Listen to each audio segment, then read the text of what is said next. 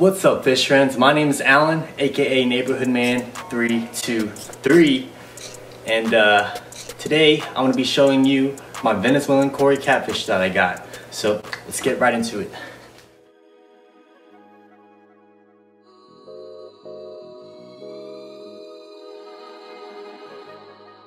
What's up fish friends? This is my 29 gallon, currently only holding two balloon mollies, Willie and Braun.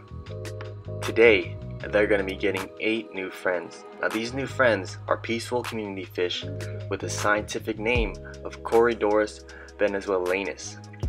Yeah, I know. And uh, their common name is the Venezuelan Cory cat.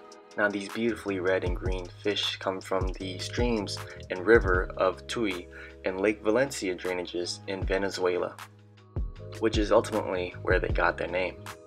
But without further ado, let's release them to the tank and get a closer look.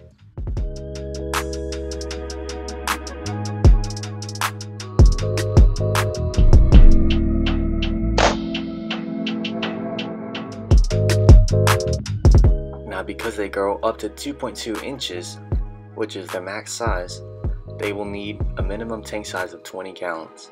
The more, the better. Same with their grouping size. You want to get 6 or more. Their temperatures range from 66 to 77 degrees Fahrenheit, and their preferred pH is from 6.8 to 7.8.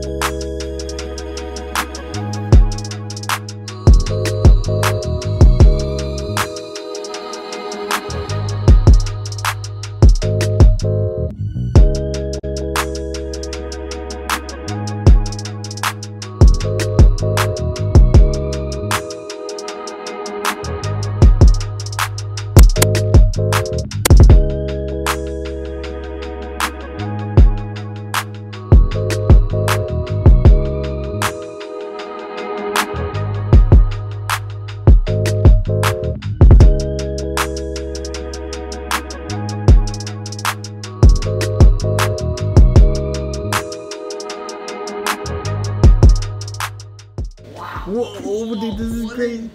I'm having a nerdgasm, bro.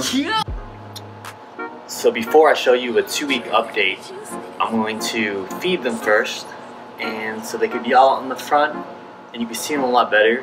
But this is the Fluval Bug Bite and this is a really high quality pellet.